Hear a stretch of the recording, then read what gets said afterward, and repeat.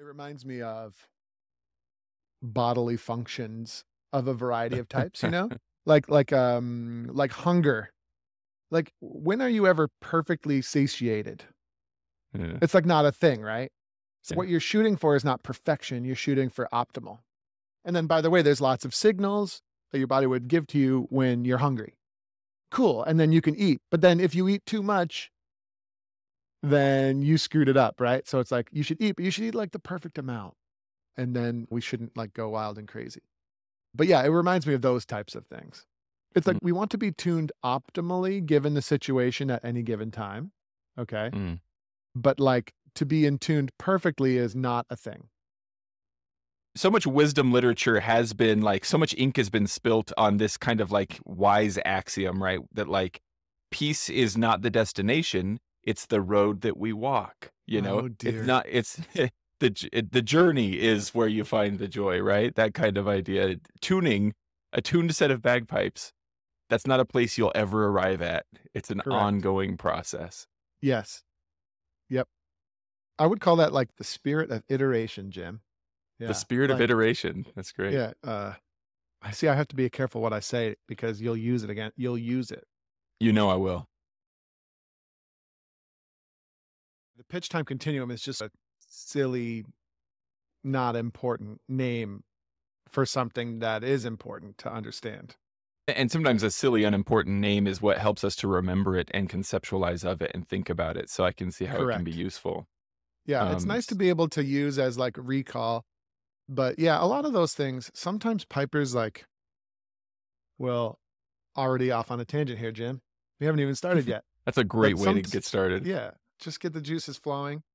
Sometimes people will take like the silly names, and it's amazing how fast it becomes like this religious dogmatic thing. So fast. Uh, fusion is another one.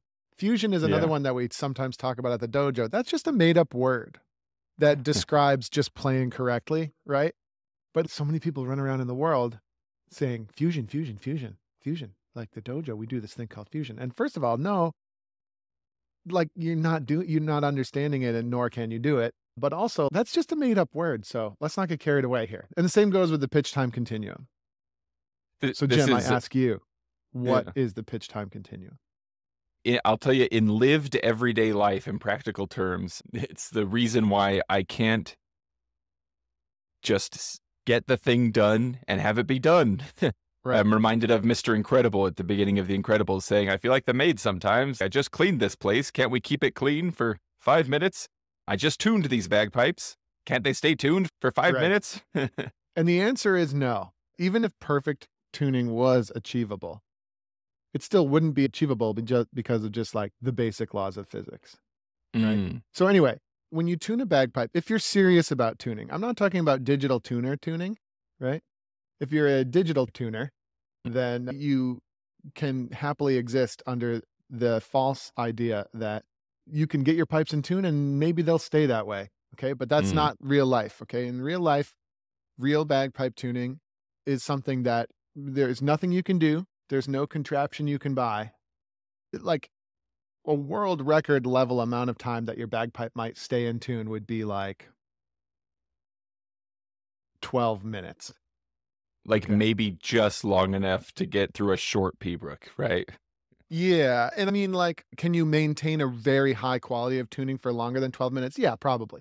And by the way, certainly the real long range pibroch players, okay, they can keep their pipes in tune to an extremely enjoyable to listen to degree for maybe 20 minutes or so. But even they would admit, I'm sure, I'm certain of it, having been like a long range pibroch player once myself, if you are staying in tune for 20 straight minutes, that's a bit of a relief. And then you would also concede that you've had to change your blowing probably fairly considerably throughout Right, the yeah. performance in order to keep it in tune.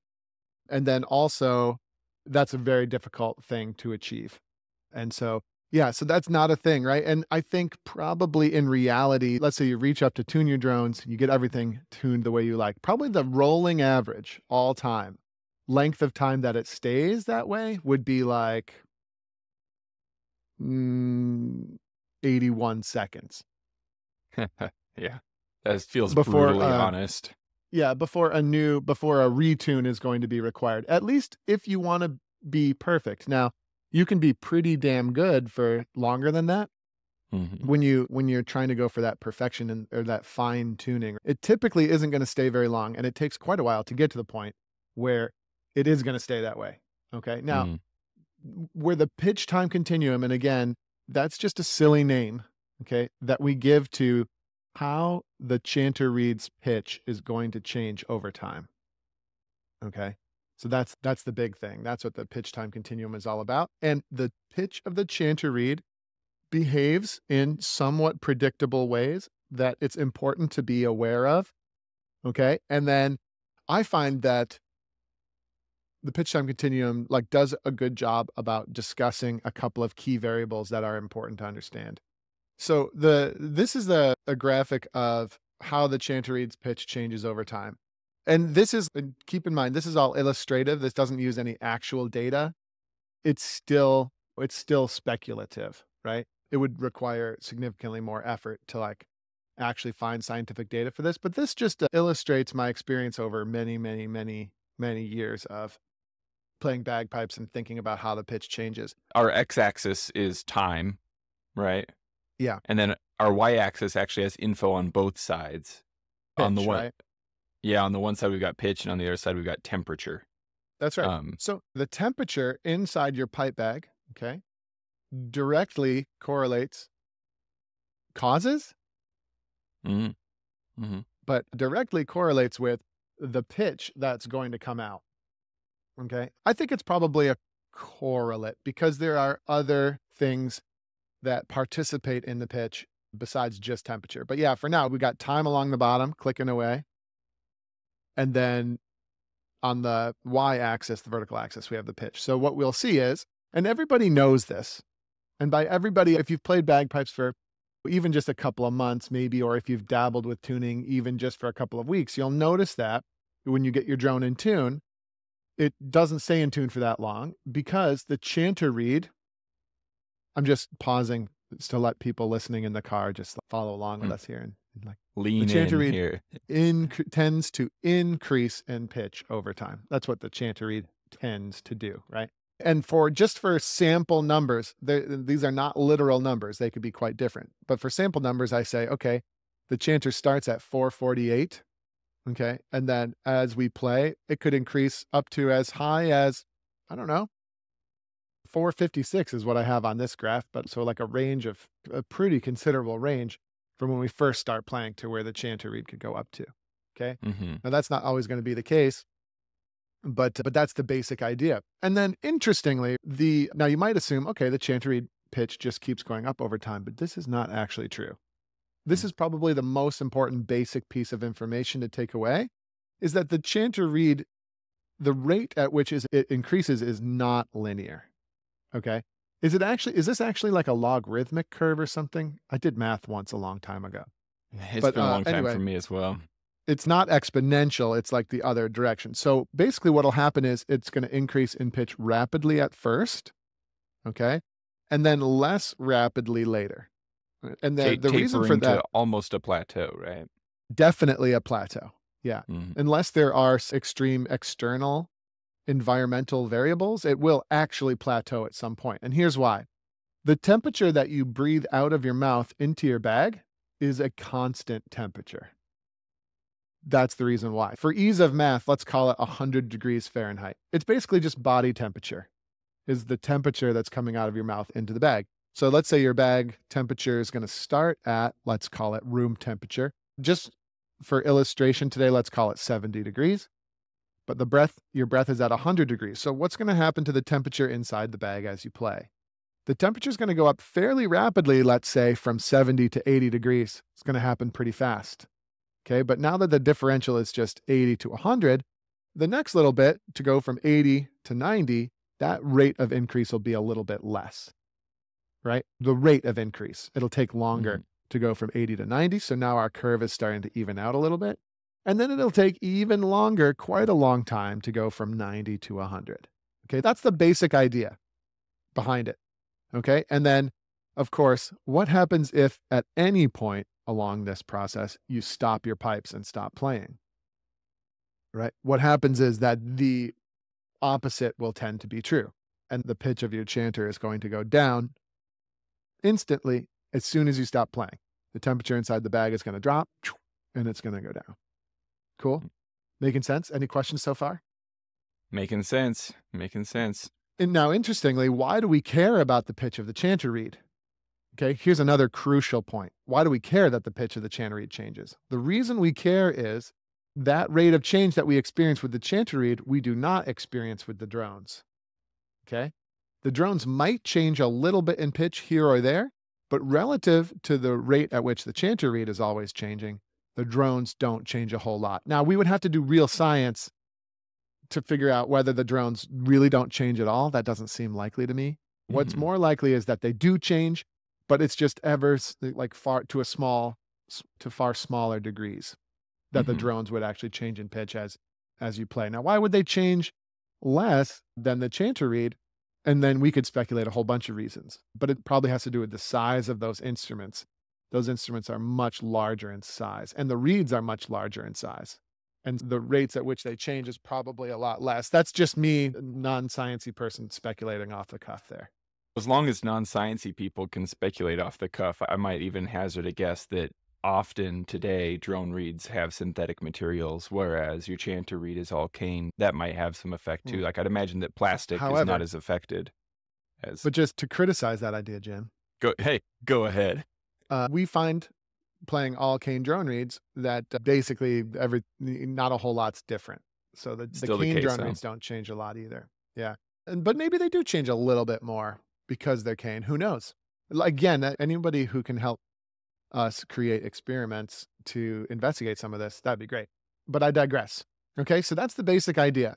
So the chanter reed's changing in pitch all the time. Now, when you blow air into the bag, temperature is not the only thing that we are contributing to the system. What's the other key thing that we're contributing when we blow into the bag? We're like increase in pressure, sure. What else? Jim, this is your moment. Cer- certainly moisture. That's going to be moisture. That's going to be changing. yeah, exactly. Exactly. And we are not going to go into the wet versus dry blowing deep waters in this episode, Jim, but we do have one planned for it. I'm really Yeah. nervous about that one.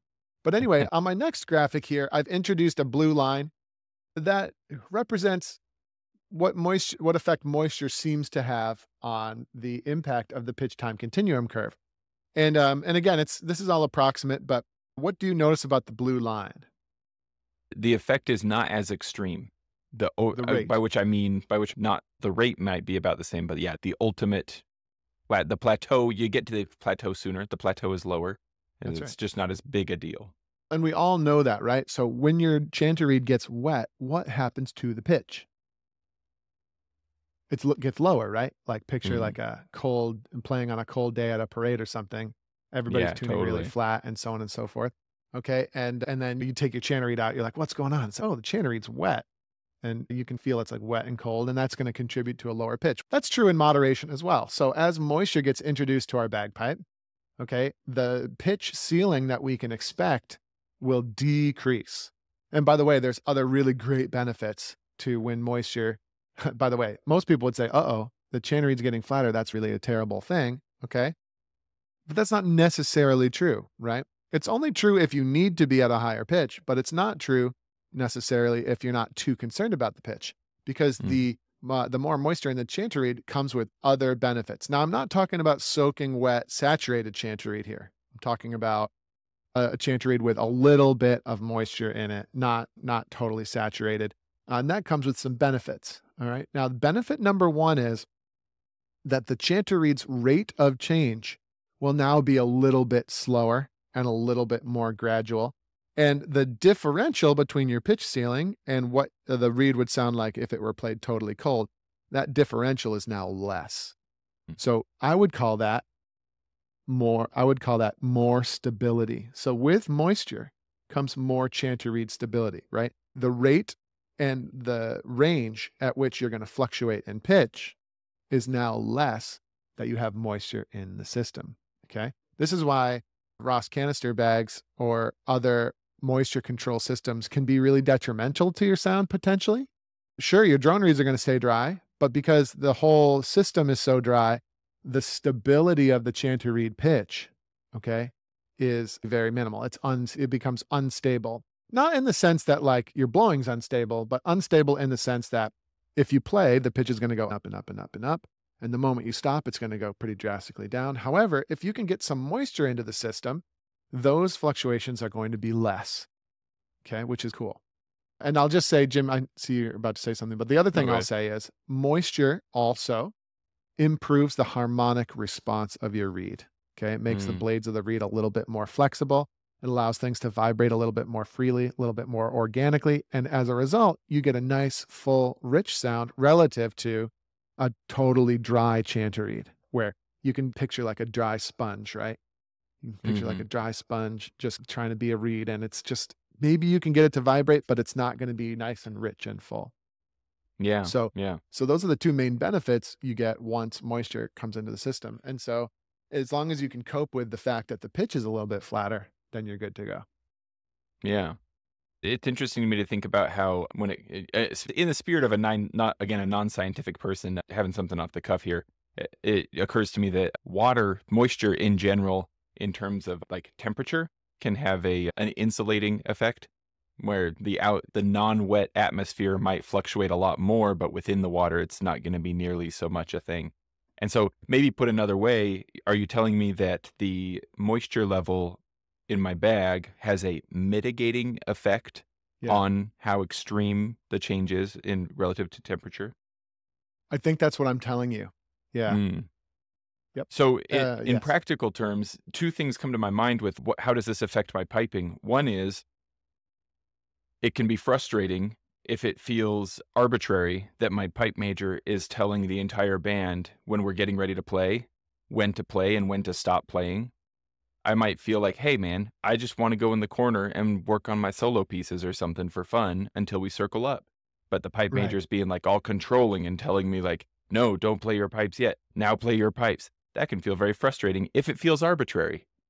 But using this, I can go, oh, there's a reason behind why we would Yeah. want all the pipes warming up at the same rate as much as possible. Yeah.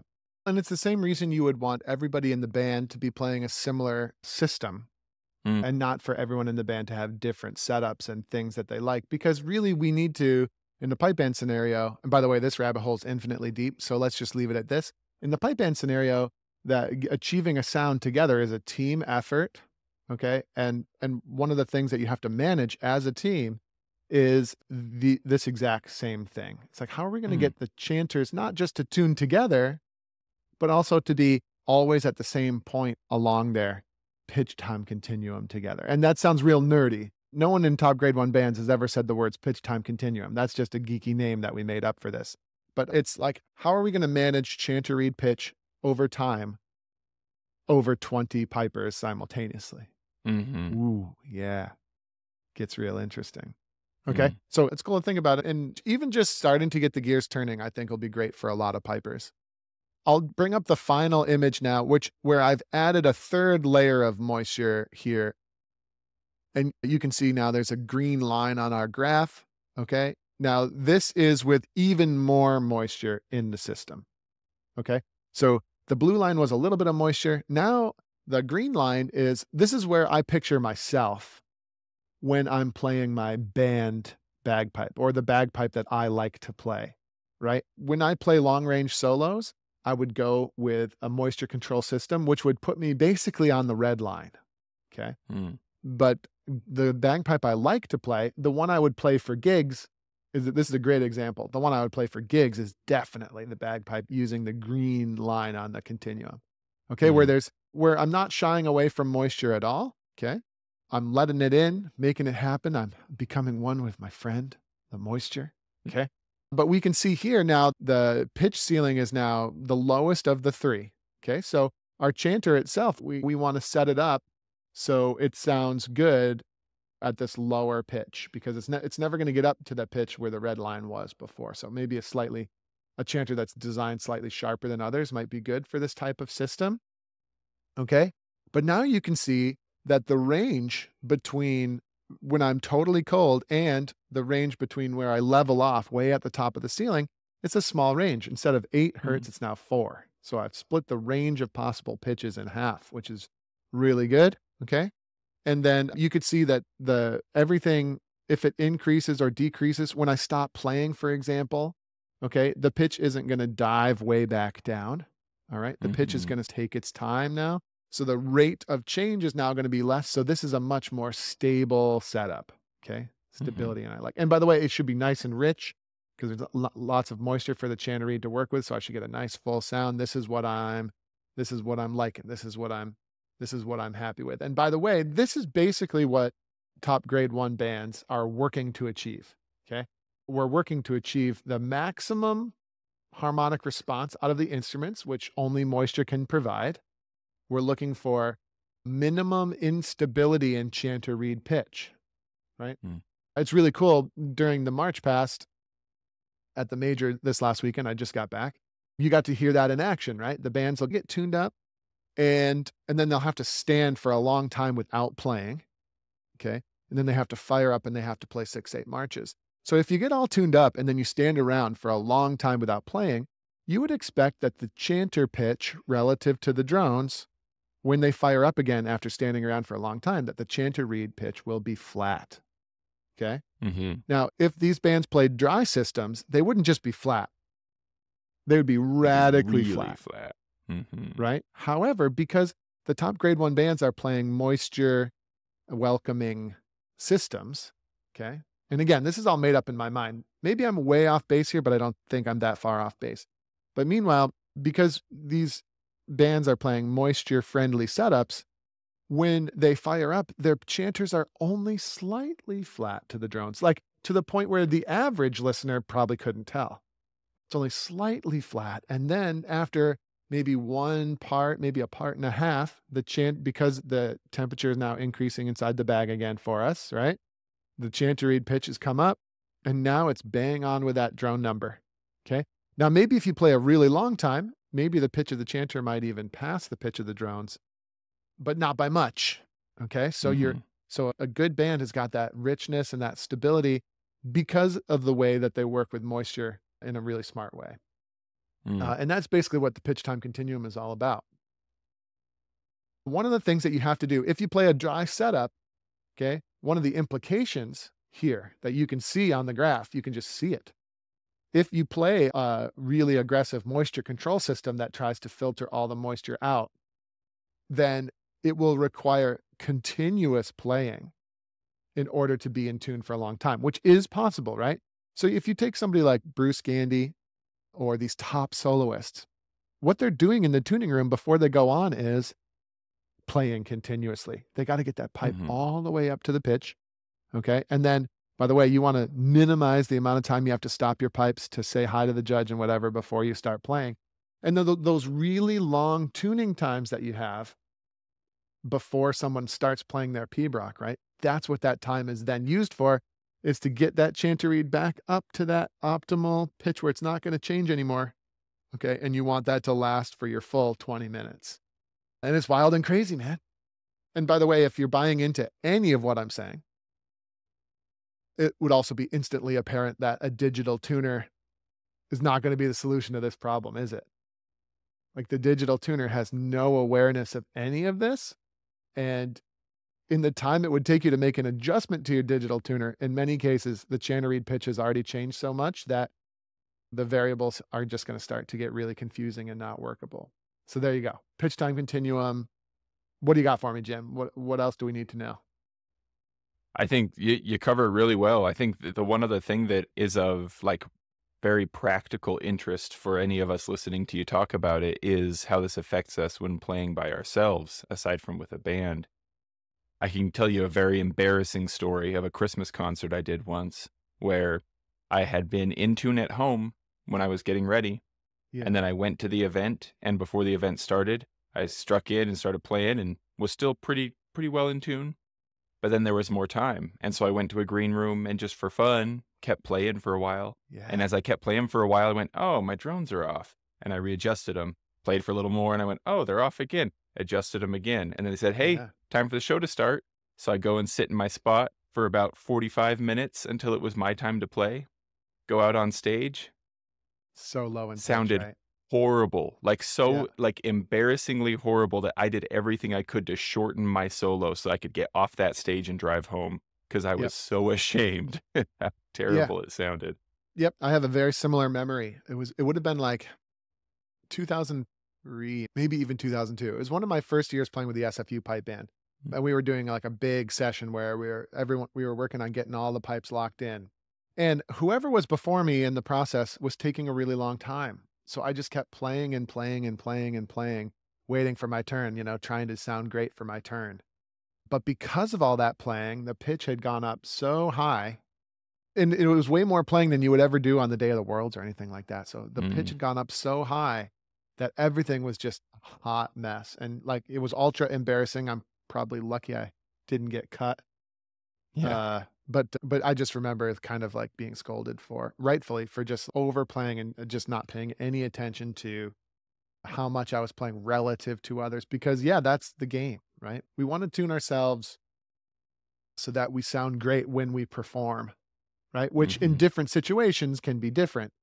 Another example would be let's say you're playing a funeral, right? And there's going to be a half an hour break between when you tune and when you need to play. Okay. yeah. Your a little bit of knowledge of the pitch time continuum can go a long way there.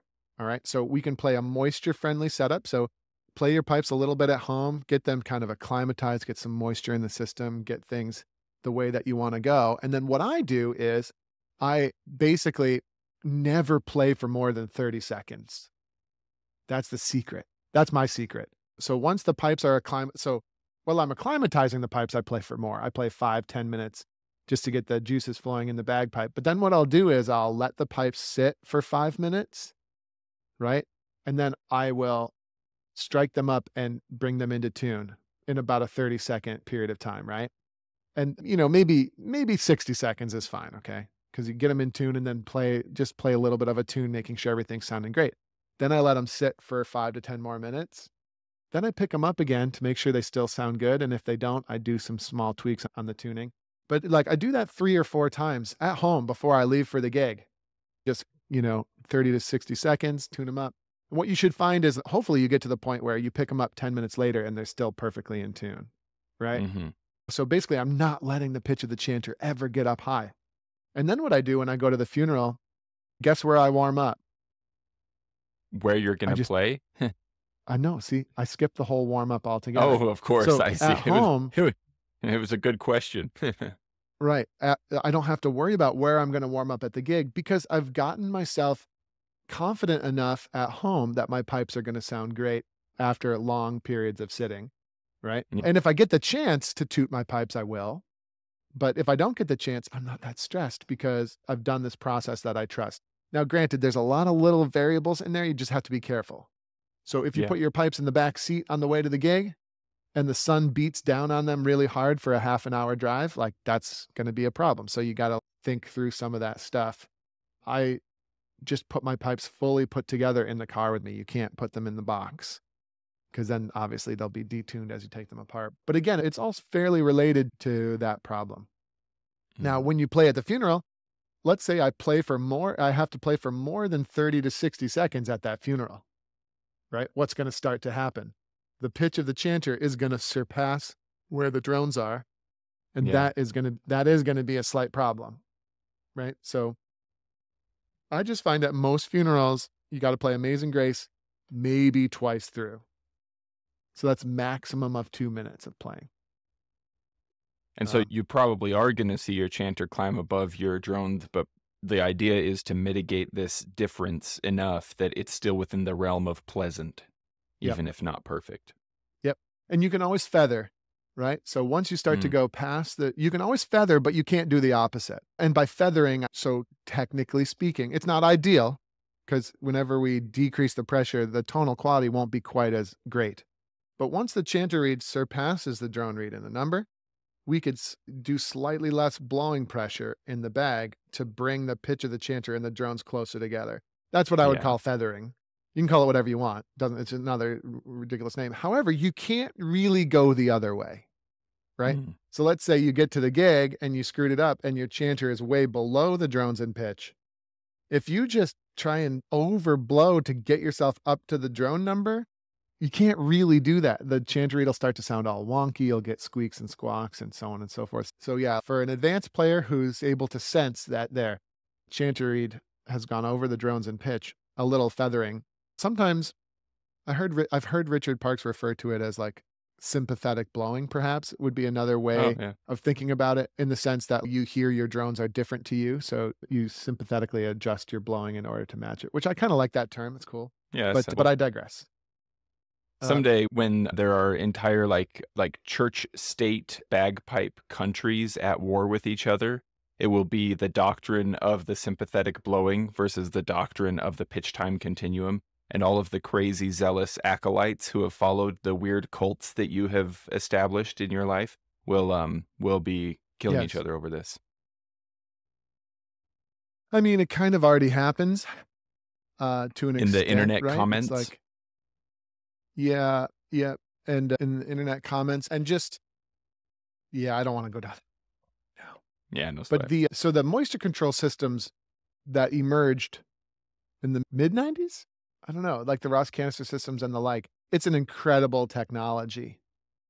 But it also just radically changed people's relationships with their instruments, especially beginners and intermediates.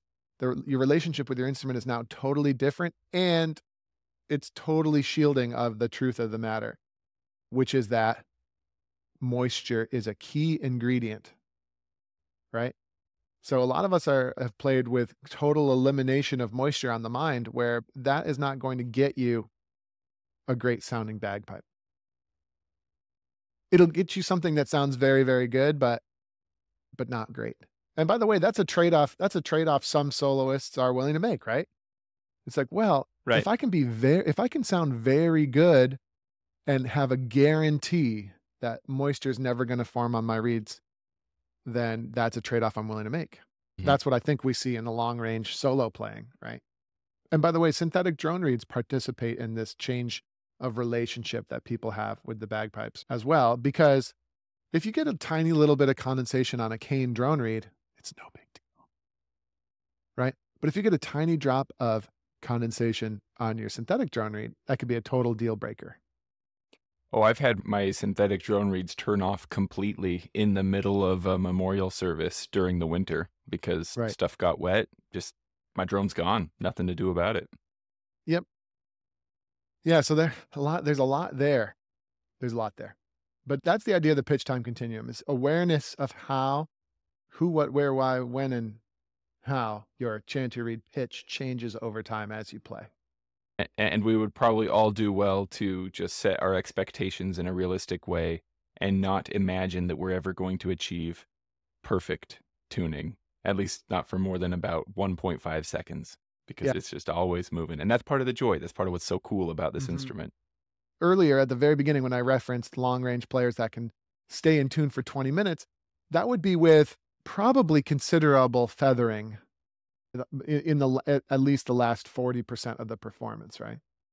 Yeah, Yeah. probably. I suppose mathematically, scientifically, it's possible that you just get that pipe at 100 degrees and everything is perfectly stable, but I'm I don't know how often it really works like that.